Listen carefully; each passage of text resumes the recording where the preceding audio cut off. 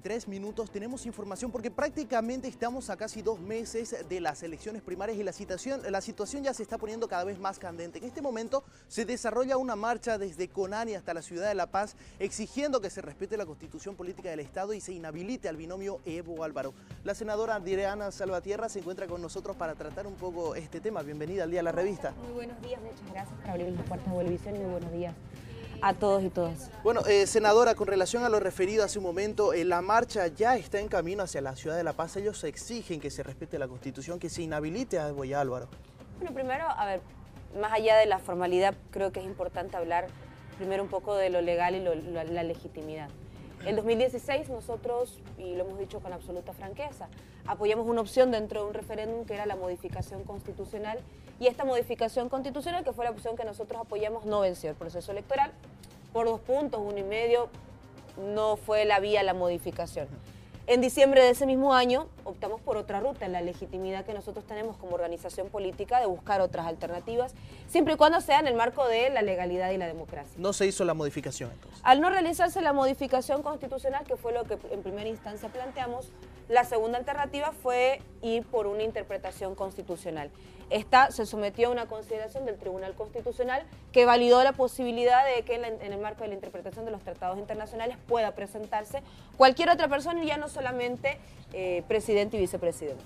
Entonces, la legitimidad emana obviamente de las decisiones que nosotros asumimos como estructura política, optemos por un mecanismo legal que fue validado por el Tribunal Constitucional y es lo que enfrentamos. Ahora, el Tribunal Supremo Electoral tiene tres atribuciones de acuerdo a la Constitución Política del Estado organizar el proceso electoral, administrarlo durante su realización y finalmente dar los resultados.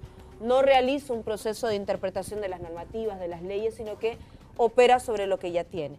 Y en ese sentido nosotros esperamos que conforme a la legalidad de los actuados que se han tenido, la Constitución, las leyes y las sentencias constitucionales, pues pueda viabilizarse la habilitación. ¿Qué lectura se le da entonces a la marcha que está realizando la oposición hasta la Ciudad de La Paz? ¿Se espera que llegue entre el 6 y el 7 de diciembre? Bueno, una expresión democrática por un lado y por otro lado también una medida de presión que lo único que busca es inviabilizar el trabajo del Tribunal Supremo Electoral.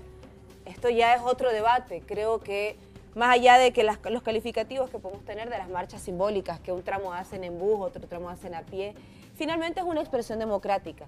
Y en el marco de esa expresión democrática, en un Estado de Derecho, pues se respetan, pero un Estado de Derecho también obra con forma normativa y finalmente serán las leyes las que definen. ¿Se podría decir que es una marcha entonces que no tiene fundamentos legales, como así lo ha mencionado usted, eh, que no se hizo la modificación de la Constitución y se buscaron otras alternativas constitucionales? Sí, porque al finalmente, a ver, la impugnación de acuerdo no solamente a la Ley de Organizaciones Políticas, sino también a una ley anterior que era la 026, que es del 2010, indica claramente que las impugnaciones solo pueden realizarse eh, a partir de la misma militancia. No puede, Adriana Salvatierra del Movimiento del Socialismo no puede impugnar la candidatura de eh, MNR, sino que son los mismos militantes de las fuerzas partidarias. Por tanto, esto no tiene un mecanismo legal asidero y finalmente se convierte en una medida de presión expresión democrática como lo desees llamar. Como lo mencionábamos, este 27 de enero ya se vienen las elecciones primarias, ya se han inscrito nueve binomios hasta el momento, entre ellos está, eh, Bolivia dice no, que ha inscrito su binomio eh, encabezado por Oscar Ortiz, en este caso también ha lanzado una campaña que se llama Yo Impugno, buscando en la impugnación de la candidatura de Evo y Álvaro. De la misma forma, a ver, la ley es clara, solamente los que son parte de la estructura partidaria en condición de militantes pueden impugnar. O probablemente impugnen a través del presidente de la Asamblea Legislativa Departamental que siendo demócratas apareció inscrito en el MAP. Pero ellos buscan que la población eh, total eh, impugne esta candidatura. Sí, por, eso le digo, son expresiones democráticas, pero no tienen un asidero legal. Ahora, bien podría, eh, más allá de los cuestionamientos que existen sobre la realización de las elecciones primarias, por ejemplo, y lo decíamos, hay un cuestionamiento sobre el dinero que se gasta en elecciones primarias como un proceso de profundización de la democracia, pero sin embargo en contraparte presentan los binomios. Son temas diferentes. Yo no creo que esto finalmente arribe a buen puerto tomando en cuenta, primero, el antecedente que hay del uso de las firmas ilegales por parte de algunos partidos políticos, entre esos demócratas.